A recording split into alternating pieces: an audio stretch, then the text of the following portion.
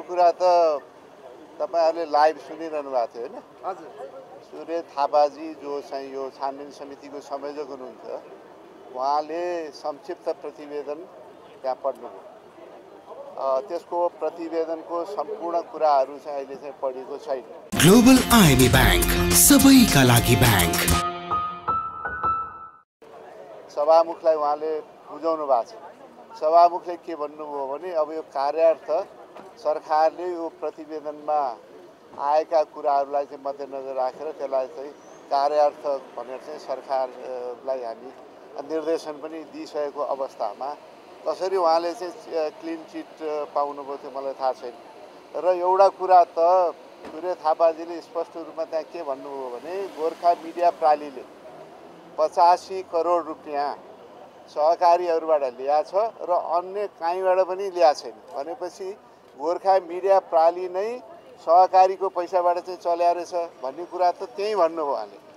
र सहकारीको सिओ भएर चाहिँ रवि लामी छानेजी त्यहाँ बस्नु भएको थियो। गोर्खा मिडिया। गोर्खा मिडिया प्रा- प्रालीमा।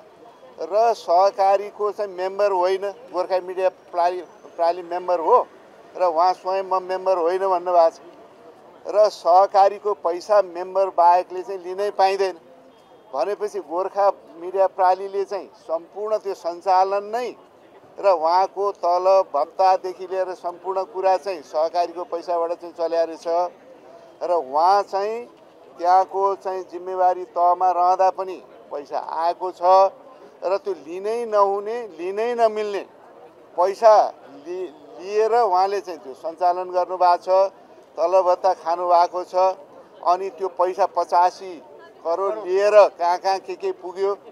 भनेपछि तैपनि हामी त चाहिँ दोषी हुँदै होइनौँ।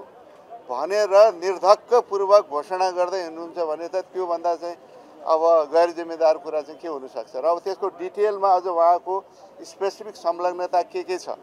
होइन त्यो लिने क्रममा कसरी त्यो प्रयोग भएको छ भन्दा भन्ने कुरा त डिटेल प्रतिवेदनमा आउला। अब संक्षिप्त प्रतिवेदनबाट नै के आइसक्यो भने सम्पूर्ण यो गोर्खा मिडिया प्राली नै चलेको चाहिँ सहकारीको रकमबाटै चलेको छ र सहकारीको रकम लिनै पाइँदैन। भनिसकेपछिबाट यस यसबाटै तपाईँहरू जज गर्नुहोस् को दोषी छ छैन भन्ने कुरा त यसबाट जज हुने कुरा हो नि।